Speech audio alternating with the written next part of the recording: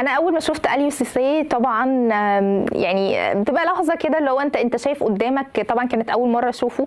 اللحظة دي بتتكرر مع مدربين كتير قوي مش بس سيسي يمكن أنا كنت سعيدة الحظ إن أنا ترجمت المدربين كتير قوي. ما انساش برضو يعني ترجمت مره لسونج لما كان في كأس الأمم الأفريقية تحت 23 سنة كان هو المدير الفني لمنتخب الكاميرون. زي ما قلت الاليو سيسي حكيت لهم إن أنا فتحت عيني كطفلة وكمراهقة وكبنت كبيرة عليكم شفتكم وانتوا بتلعبوا. آه، شفتكم وانتوا بعد كده بقيتوا مدربين واثبتوا انه ممكن يبقى حد لاعب شاطر كويس ويبقى بعد كده مدير فني كويس وتبقى علاقته كويسة جدا باللعيبة. فلما ببتدي أتكلم معاهم الكلام ده اولا بيفرق لهم جدا إنه اللي هيكون بيترجم معاهم مش بس جاي هيترجم ويكتفي بنقل ال- الكلام من لغة لتانية. بيفرق معاهم جدا إن هو إيه ده؟ دي عارفاني دي دي دي هتبتدي تتكلم معايا دي هتكون فاهمة.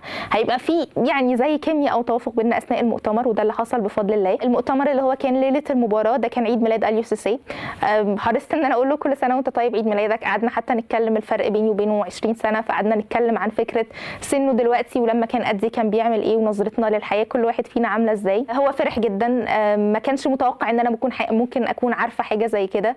أه، استغرب جدا وشكرني إن أنا مهتمة وإن أنا متابعة. قعدنا بقى نتكلم عن الفرق بيني وبينه سنا قد إيه هو شايف مرحلتي العمرية دلوقتي دلوقتي إزاي وبينصحني لما أنا أبقى أكبر قد وأوصل 46 سنة أتعامل مع الحياة إزاي. هو ذكي جدا طبعا أكيد مش هتكلم عنه كمدير فني ولكن أقصد كحضوره في المؤتمرات الصحفية ليه حضور وليه طلة مختلفة وليه ذكاء في الرد على الأسئلة وكنت بحاول إن أنا أكون بجاريه في الذكاء ده أثناء المؤتمر. علي سيسي من المديرين الفنيين المتميزين جدا سواء كمدير فني في الملعب وسواء في حضوره في المؤتمر الصحفي.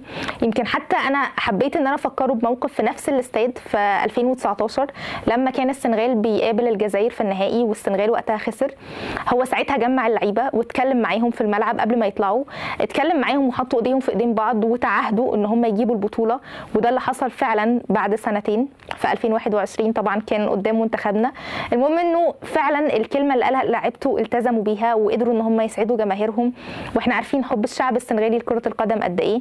فدي حاجة من الحاجات اللي أنا لما ذكرتها له أول ما شفته ابتدينا نتكلم دي من الحاجات اللي هو يعني أثنى عليها إنه حسسته إنه لا البنت اللي هتكون بتترجم معايا هي مش بس جاية تنقل ك- لغه وتكتفي بكده لا هي فاهمة هي متابعة كورة. فدي حاجة خليني أقول خلت في بعض الارتياح بالنسبة له. أكيد بالنسبة لي أنا كمان لما بدأنا المؤتمر بدأت طبعا تاني مؤتمر أكيد كان مختلف. بدأت أعرف هو بياخد أجزاء كده من الثانية قبل الإجابة على السؤال إن هو يفكر. ودي حاجة كانت بالنسبة لي ذكاء وحاجة بتريحني شوية. يعني كل أكيد حد بيبقى ليه طريقته في الحديث فهي كانت طريقته مريحة شوية بالنسبة لي. وأزعم إنه الحمد لله هو قال لي إنه كان كمان نفس الانطباع بالنسبة له.